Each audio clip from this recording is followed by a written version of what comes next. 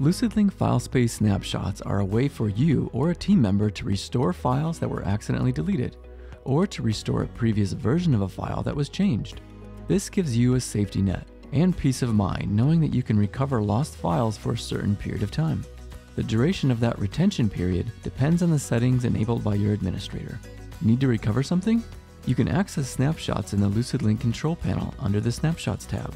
Then click on Mount, and you will be able to browse through and find the file that you need.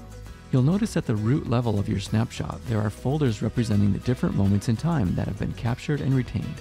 These are now read only volumes, so you can recover from them but never again make changes to them.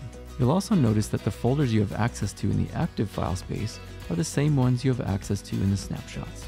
Once you find the files you're looking for, you can copy them back to your active file space with a simple drag and drop. Be sure to let the transfer complete, and when it finishes uploading to the active file space, you and all other users will be able to work with these files again. For recovering larger amounts of data, you should consider using a more sophisticated data movement tool and the LucidLink team can help provide guidance if needed. Once you have finished recovering files from snapshots, simply click on Unmount and they will go away, leaving just the active file space. Snapshots are fast and easy to access, giving you and your teammates an undo button when you need it most.